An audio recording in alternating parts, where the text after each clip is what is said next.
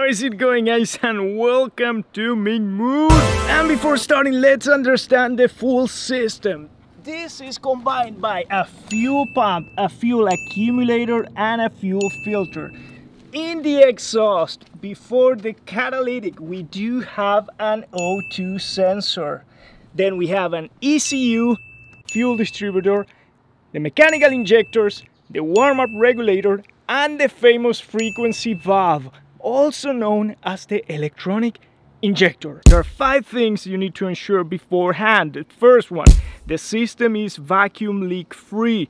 The exhaust has no leaks. You have the correct fuel pressure, the car is properly timed, and the O2 sensor is actually working. So to fine tune the system, what we're gonna do is we're gonna use this oscilloscope, whichever you can get. In this case, I bought a cheap one in Amazon and I'm gonna let the link in the description below.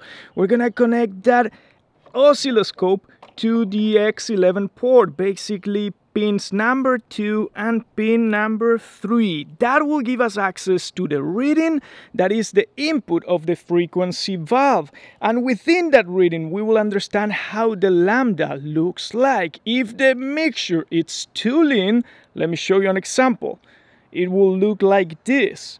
And what we will have to do is we will grab a 3 millimeter Allen and we will turn the screw the famous air fuel mixture screw.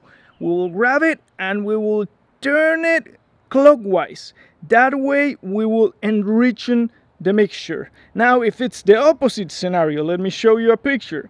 If the system is too too rich, we'll have to turn the screw counterclockwise. It's very very important to understand two things. The first one, this this screw will have a two pin system.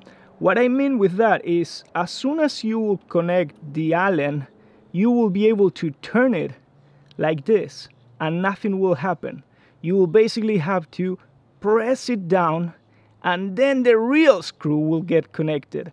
And the second important thing is a 90 degrees turn could make this engine move from extremely lean to extremely rich. So be very, very, very, very careful.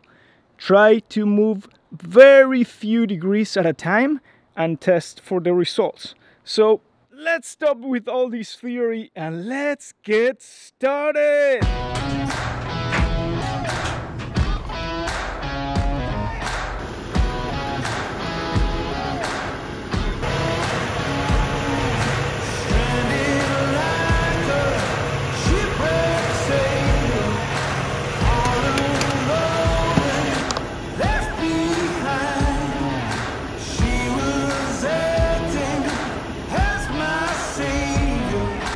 This fine-tuning makes no sense if in real driving conditions we cannot keep that frequency valve in the sweet spot. Let's go for a ride!